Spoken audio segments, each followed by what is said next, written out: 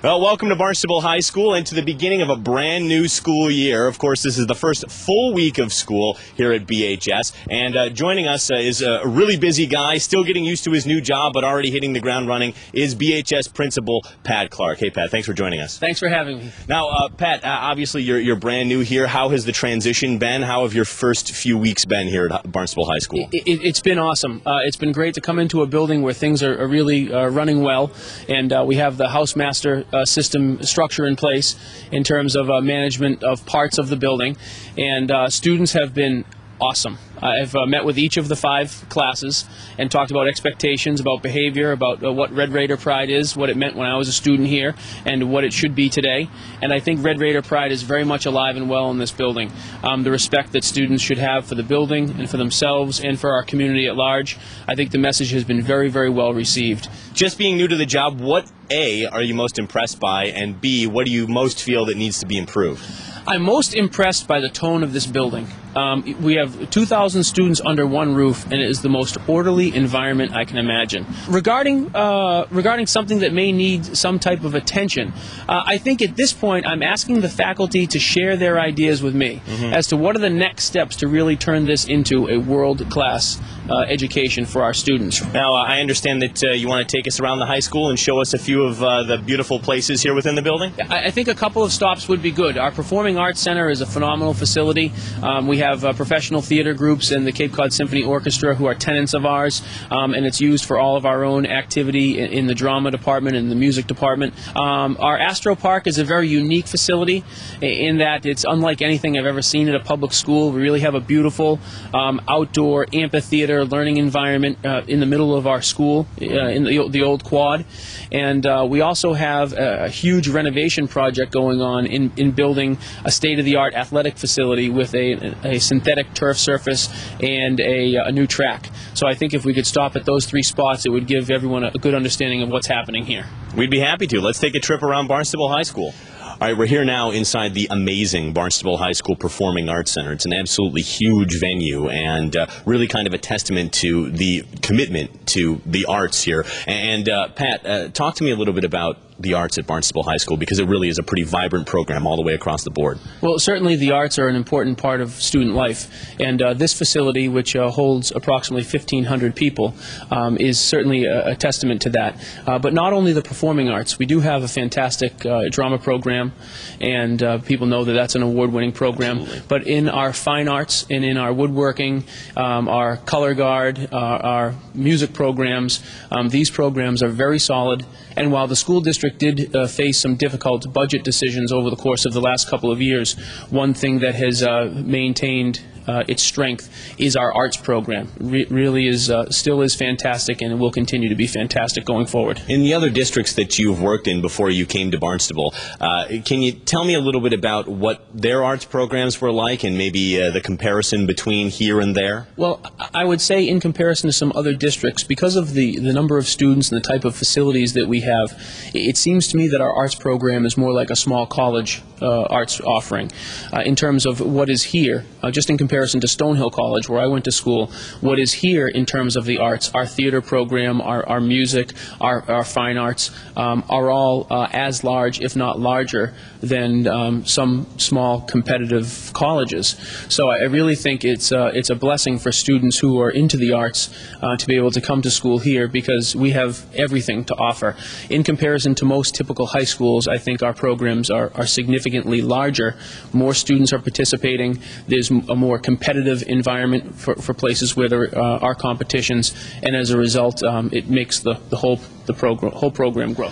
So now we're outside Barnstable High School and we find ourselves in one of the most unique features of any school that I've ever been into or around anywhere in any state, the Cobb Astro Park. Uh, Pat, this is really an amazing showpiece for the school. It's, it's, it's an amazing place. It is. It's a kind of a, a combination between uh, a natural environment with uh, nicely landscaped grounds and uh, an outdoor amphitheater kind of environment. So when we have events like the uh, eighth grade parent orientation, or we have open house, which is coming up uh, on Thursday the 16th, we can have parents out here and uh, you know introduce them to Barnstable High School in, in a beautiful environment.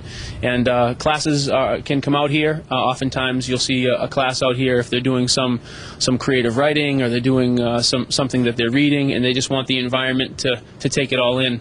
Um, it, it is it is awesome to have a facility this beautiful in, in a public high school. It sure is. And uh, talk to me, if you will, about the development of this place and uh, how it sort of came to be what it is right now and what the vision is for even more development out here, because I know that they're not done yet. Well, it, it certainly it used to be just a quad, just a big patch of grass, and students used it just to cut cut through.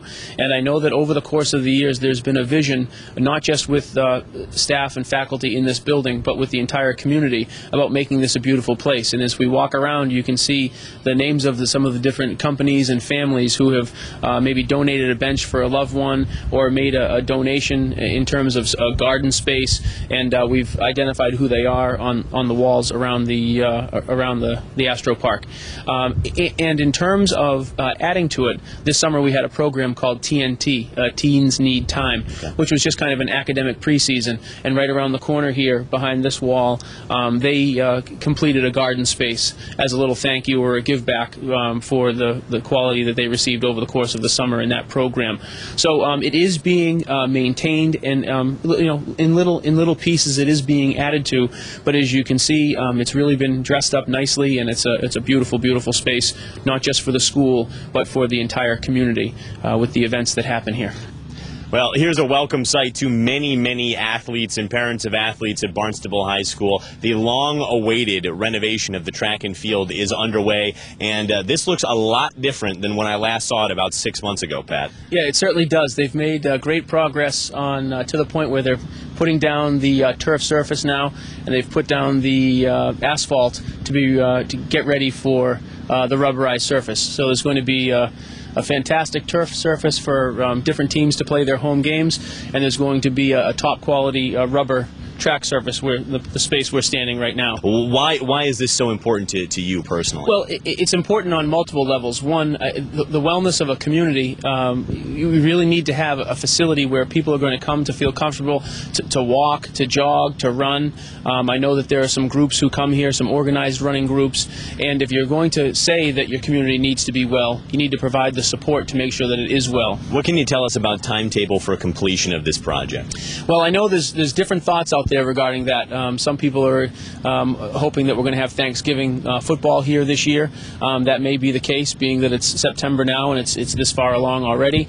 Um, but that'll be something that the you know the uh, the company and the clerk of the works and the athletic director and I will have to um, collaborate to make sure that the, everything is done um, to the right degree before we have uh, events here this year.